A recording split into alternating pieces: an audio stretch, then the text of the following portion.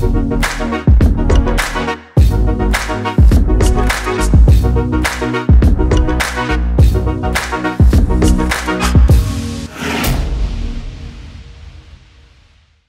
to Engineer's Kitchen. Today we want to talk about predictive analytics, a huge buzzword at the moment.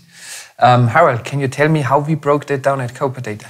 Yes, um, for the moment we have two possible scenarios. Mm -hmm. One would be predicting a value over another value. For example, you have a production, okay, you produce some amount of units and consume some energy, and you want to predict, okay, how much more energy will I need if I produce that more units? Mm -hmm. It could be a non-linear um, equation behind that. So usually you have a certain amount of base energy consumption and then a relative amount. And so the trick is here to find out what's the relative part. Mm -hmm. Mm -hmm. The other thing is um, you have any measurement over time, so you have a trend, mm -hmm. and you want to prolong that trend into the future. Of course, yeah. So the first thing we need here is a prediction model. Okay. Let's have a look at it.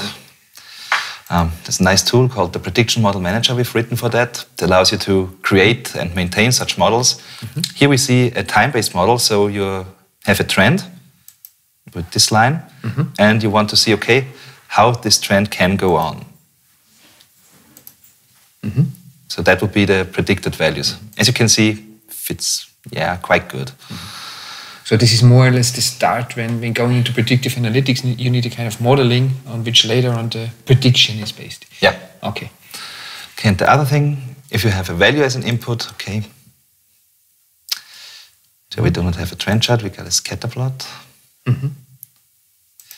So the dots here are the measured data, and the model predicts the line how the data can go mm -hmm. on course, you can use that in reports, those models. Mm -hmm. So let's have a look at them.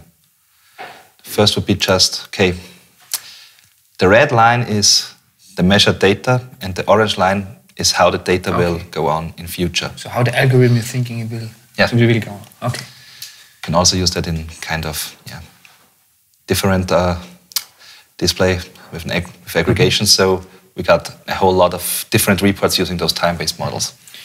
Is there any limitation on how far in the future you can calculate this data?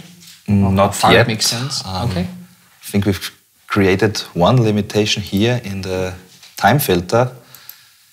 So yeah, it can go only 10 years in the okay. future. it's fine. I think that should be enough. it should be enough. I agree.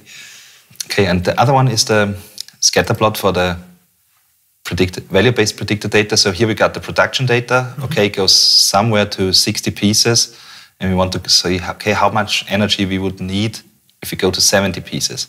Mm-hmm. And so see the curve flattens more and more in here. So okay, it might be valid until some point here, but not too far from the real data. Mm-hmm.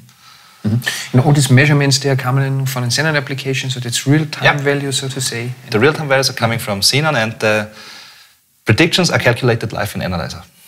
Harald, thank you for this brief overview about our capabilities in the zenon Analyzer uh, within the, the area of predictive analytics. Uh, as a small thank you, I want to offer you one of our famous Engineer's Kitchens t-shirts.